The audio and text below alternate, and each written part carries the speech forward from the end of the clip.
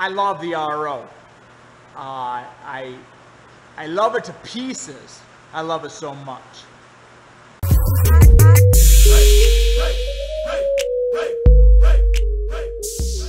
All right, so welcome back. Today is the day after we collected. It is uh, 55 to 60 degrees and raining, and it is just horrible yucky outside.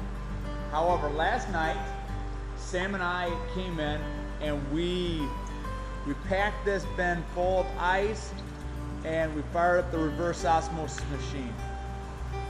And so, if you follow my, uh, if you see my past videos, you would have seen this machine.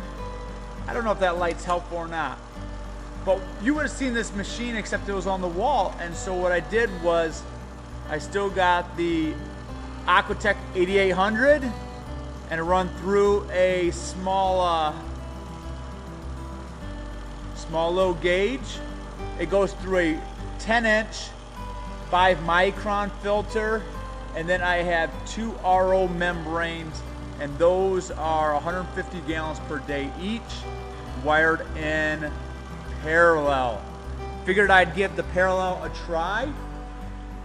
Um, and so over here is our sap. It pulls it out the bottom of the barrel and then you can see that it is just dribbling right back in. And I usually keep this covered up. And then if you come out over here, you come over here, you can see, try to get that light so it's helpful, but you can see that's dribbling in. So we ran this last night for about nine hours and uh, we have reduced 45 gallons of sap down to right around um, right around 20 gallons right now.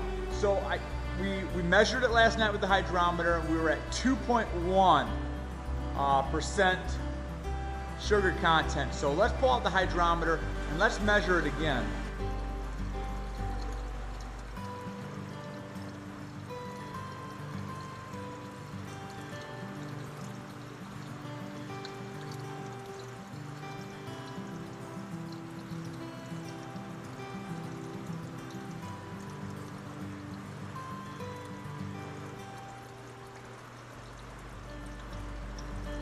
We're hovering right in the four and a half percent mark right now. Four and a half percent isn't too bad. Um, and so if you think about four and a half percent is, uh, well, do the math with me really quick. And, and so, you know, 86 divided by 4, so now we're in the uh, 21 point something range. Um, we will pull a sample off just the returning sap.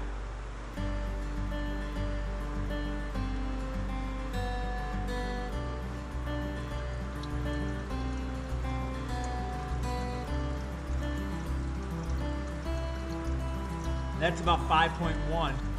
Before I leave you, I want I want to clear up something on my little uh, my little RO machine. You're gonna say, hey Joe, did you buy one of those RO buckets? No, I didn't buy an RO bucket. I already had all these these pieces to it. Um, but there's a guy out there selling the RO bucket and and what a great idea. Put it in a bucket. I have a handle, I can unplug everything, carry it into the house when it gets really cold, and that guy is a genius. Um, in all honesty, he sells a great looking product at a great price. Is the RO worth it? I had a, a good friend of mine, I said, should I build a bigger evaporator? Should I build a bigger, uh, or should I buy an RO? He said, go RO. And what the RO has done is it pulls out 20 gallons of sap while I sleep. It would have pulled out another 20 gallons while I was at work. My evaporator will boil off seven gallons an hour. Seven gallons is a long time when you've got 40, 50 80 gallons to boil up. But if I can reduce with the RO, now my machine, my evaporator is 10, 12. Um, and I don't have to feed it wood. So I love the RO. Uh, I, I love it to pieces. I love it so much. So thanks for joining me. Kind of a short vlog, vlog if you will. Kind of short vlog, but it's, uh, it's a rainy day. Hoping to boil tomorrow. So we will talk to you later. Have a great day. Bye.